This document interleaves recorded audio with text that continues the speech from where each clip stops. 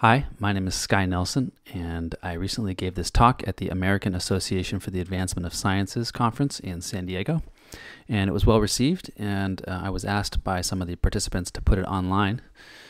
So here it is, the, the much abridged version uh, for you to take in on YouTube. Retroactive event determination and its relativistic roots. I'm going to try and show that light doesn't objectively travel, just appears to have traveled when measured and that the state of light and everything else is observer, observer dependent or observation dependent. Uh, predictions, implications, ontology, and metaphysics will be looked at briefly, and uh, my goal is to not get interrupted. Hopefully, you won't be able to do that retroactively through uh, watching the movie um, and leave time for questions. All right, here we go. The, so, there exists a conceptual gap between special relativity and quantum theory that has been there since the beginning. Uh, special relativity assumes that light travels at a fixed speed, the speed of light, relative to all inertial observers, which is true. Um, but quantum mechanics shows that we can't make definite statements about a system between measurements. So there's this conceptual gap that relativity assumes that light is moving at the speed c relative to every observer, even if it's not being observed by an observer. But quantum mechanics, the formalism shows that that just can't be the case uh, for objects in general. So we got a conceptual gap, and I'm going to try and resolve that um, through the following conclusions. A photon state must be observer dependent or observation dependent. Uh, a photon will appear to travel at light-like intervals when measured, according to the simultaneity principle. But between measurements, it will have no definite state. In other words, space-time is not well defined between measurements. So step one, light is timeless this is a well understood uh, conclusion from the extreme case of time dilation. If you look at Lorentz's equations, they show that in the extreme case, uh, at the speed of light, time would become infinitely dilated or uh, actually meaningless, as we'll see. And I, it says here, I'll try a brief proof, but I'm going to skip that for now for the sake of speed, and you can go ahead and read the paper um, if you're interested. So starting with the Minkowski diagram, we're going to look at how simultaneous events would be observed. This is well understood by probably most of the audience watching this, so I'll go quickly. E and F are two different events. If I'm traveling vertically up the uh, y-axis, I'm going to, or up the t-axis in this case, I'm going to send out a light signal that travels to the right and hits event F, and another one that right, travels to the right and hits event E. And when I receive those later, I'm going to mark the positions where I received those. And at the halfway point between the sending and the receiving of each signal, I'll figure that's exactly when the event happened, according to my reference frame. So these two events would appear simultaneous for two different observers not moving relative to each other. Uh, if two observers are moving relative to each other, you've got one of them at a slight angle here, the same geometry is going to give you a slightly different result um, where the object that's further away is going to appear to happen first. That's f prime. And if you're traveling much, much faster, closer to the speed of light, you'll see that the event f prime happens far before e prime, which happens far before, you know, where e and f appear on the graph for the stationary observer. So what I'm trying to show here graphically is that if you extend this out to consider light itself, what light itself would be registering when it interacts with objects, um, E prime and F prime become completely uh, uh, infinitely stretched out.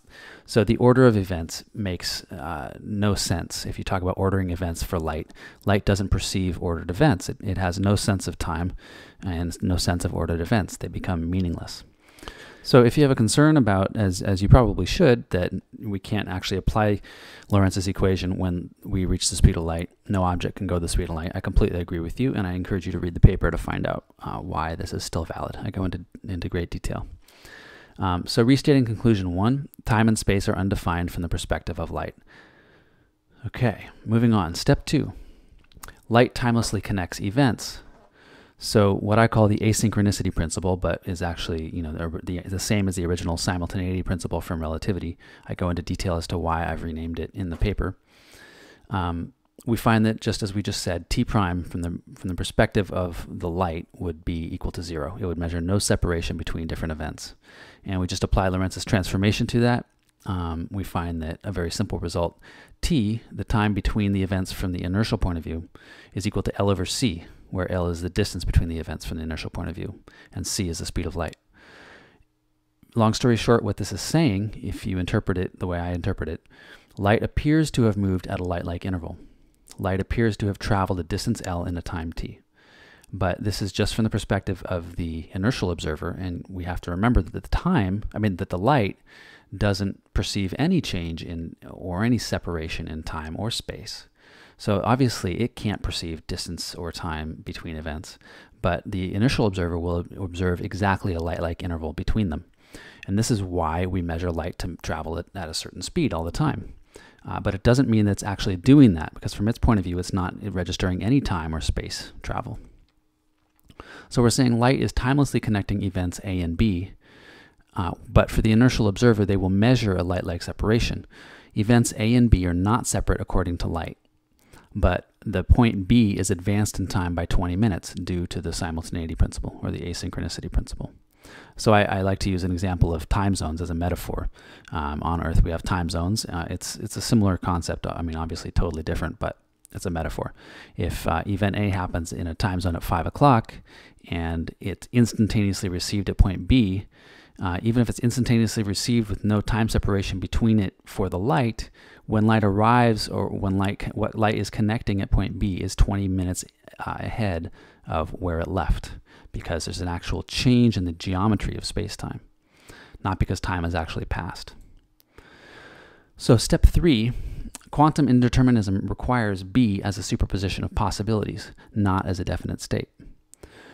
If you think about it, if light experiences no time, it still must connect two different events A and B for an inertial observer.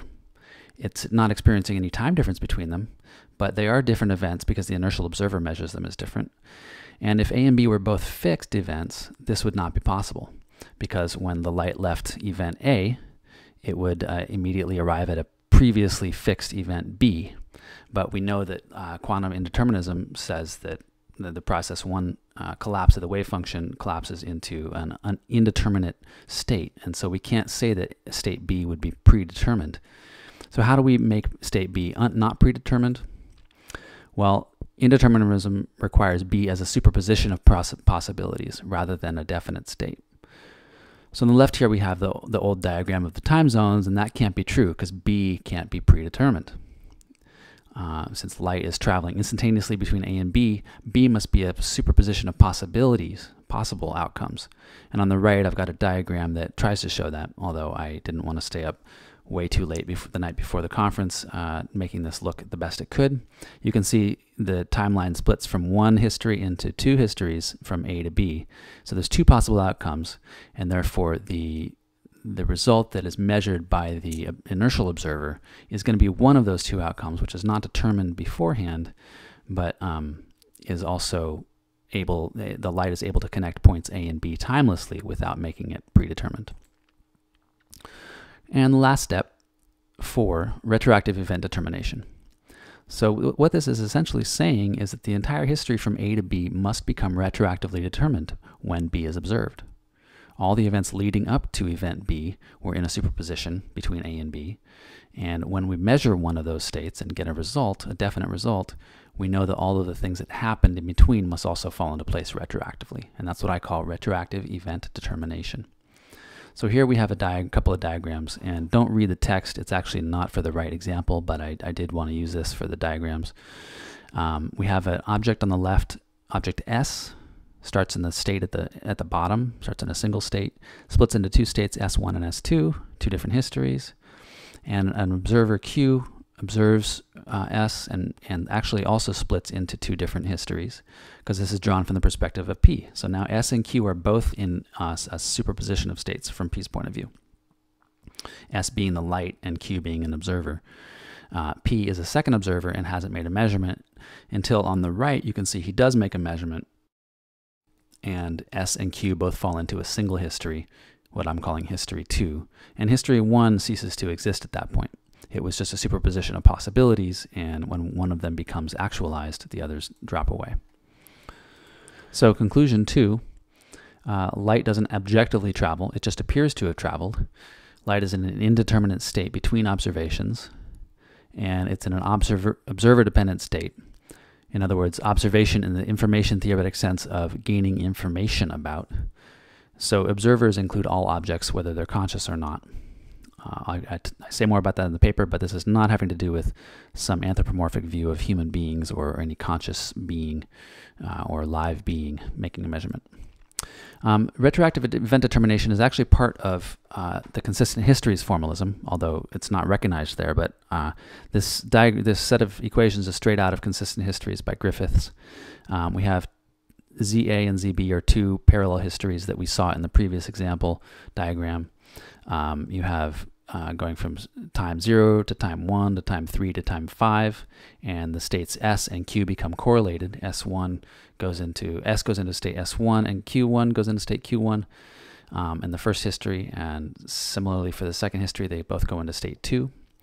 But when P makes an observation, one of the equations, one of the families of histories uh, sticks around and the others get wiped out because they're not uh, actualized.